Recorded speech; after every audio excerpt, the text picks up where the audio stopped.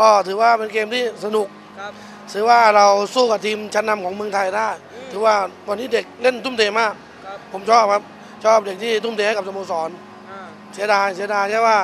เรื่องของโอกาสในการจบสกอร์เราครับ เราเราไม่ดีแล้วเราเสียง่ายเกินไปครับ ในเรื่องฟอร์มการเล่นนี่นะ คิดว่าในแมตช์ที่เหลือเนี่ยจะทำคะแนนได้มากแค่ไหนครับในการหนีตกชั้น ผม ผมชอบสโมสรนี้เพราะผมว่าสโมสรเนี้ผู้ใหญ่ให้การสนับสนุนที่ดีมากครับผมอยากให้สโมสรนี้ยังอยู่ และอยากให้ทุกคนไทยรู้ว่าสโมสรฟุตซอลกรมทางหลวงเป็นสโมสรฟุตซอลชั้นนำของเมืองไทยอ่าเกมต้องสู้ให้ถึงที่สุดนะครับเกมหน้าจะพบกับทีมใหญ่ทีมหนึ่งเจอ CAT FC นี่มีการอ่าวางแผนได้ไหมครับก็ตอนนี้บุบุบุคลากรมีน้อยแล้วก็นักโทษ วันนี้ก็ติดโทษแบนไปอีกแล้วครับผมซึ่งตัวหลักๆ เราสองสามคนติดโทษแบนแต่ก็ผมบอกแล้วว่าบุคลากรในทีมเราต้องใช้ได้หมด นะครับ เพราะว่าสโมสรจ้างมาแล้วคุณก็ต้องทำได้ครับครับ ผมจะไม่บอกว่า ผมจะมีซูเปอร์สตาร์หรือไม่มี ผมจะสู้ด้วยเทคนิคของเราครับครับในส่วนของผู้เล่นต่างชาติที่เอามาใหม่ 2 ตัวนี่จะลงสนามได้ในแมตช์ไหนครับคือตอนนี้ผมทำเรื่องถึงสมาคมเพราะว่าผมต้องการทำให้ถูกขั้นตอน เพื่อเป็นแนวทางของการ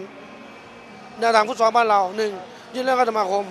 สมาคมยื่นเรื่องมาทางสมาคมประเทศของเขา แล้วก็รอประเทศของเขาตอบกลับ โดยที่ผมจะไม่เอาเปรียบคู่ต่อสู้เด็ดขาดครับ นะครับ ผมจะบอกให้รู้ว่าเราจะทำถูกขั้นตอน เราจะเอามาเล่นอย่างเขาวสะอาดครับครับให้ฝากอะไรถึงแฟนฟุตซอลกรมทางหลวงหนะครับก็ต้องขอประทานโทษทุกท่านด้วยนะครับ ที่ว่าทำให้ผิดหวังอีกแล้วครับขอบคุณที่ท่านอุตส่าห์เสียสละมาเชียร์พวกเราทุกๆแมตช์ผมจะทำให้เต็มที่น้องๆทุกคนจะทำให้เต็มที่ เพื่อพวกท่านที่เสียสละเวลามาขอบคุณครับครับผมขอบคุณครับ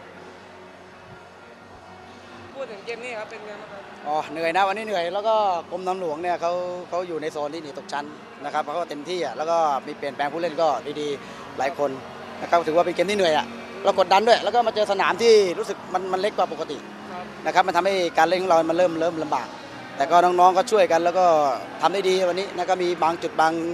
บางบางเรื่องเนี่ยมันผิดพลาดก็ไม่เป็นไรเดี๋ยวก็กลับไปแก้ไขครับก็พอใจในส่วนสามแต้มฟอร์มการเล่นที่ชนะมา 2 นัดรวดแล้วครับแล้วก็นัดหน้านี่จะไปเจอกับ Bangkok นี่มีการเตรียมทีมยังไงบ้างครับแน่นอนครับก็ก็เราเจอเขาเราเราเราเคยชนะเขามาแรกๆนะก็ไม่ใช่ว่าเป็นเรื่องที่ว่าเราจะต้องชนะเขาตลอดไปครับนะครับการปรับตัวแล้วก็ทีมเราเนี่ยตรงนี้ก็ต้องมีการปรับปรุงเยอะเหมือนกันครับนะครับว่าทุกทีมตอนเนี้ยเขาเขาพยายามหนีโซนอันตรายแล้วก็ Bangkok เนี่ยเขาก็ชนะรวดมาเลยนะสามสี่เกมรวดเนี่ยก็ถือว่าเป็นเป็นเกมที่ที่หนักพอสมควร นะครับก็พยายามที่จะจะเอ่อเก็บแต้มไม่ได้นะครับในวันในวันนั้นที่เราเจอ Bangkok เนี่ยก็พยายามที่จะรักษามาตรฐานของเราไว้ก่อนสำหรับเป้าหมายสำคัญนี่จะทำทีมไม่ขึ้นไปถึงอันดับ 2 หรืออันดับ3นี่ตอนนี้มีมองถึงแค่ไหนครับ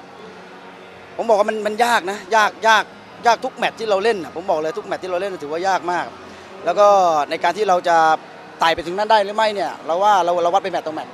นะครับเพราะว่าที่เราคาดการณ์เมื่อเมื่อก่อนต้นฤดูกาลเนี่ยมันคงไม่ใช่ครับ นะครับแล้วก็ทุกทีมเนี่ยเขาพัฒนาขึ้นมาสูงมากนะแต่ของเราเนี่ยยังยังยังแค่ปรับขึ้นมาหน่อยเดียวเองนะก็ถือว่าเป็นเกมที่หนักทุกเกมเลยที่เราเล่นไม่เหมือนปีแล้วเนี่ยปีแล้วเนี่ยยังมีทีมที่ล่างๆค่อนข้างเยอะมันก็สบายหน่อย แต่ปีนี้ทุกทีมแข็งแกร่งหมดก็ก็ต้องปรับปรุงเรา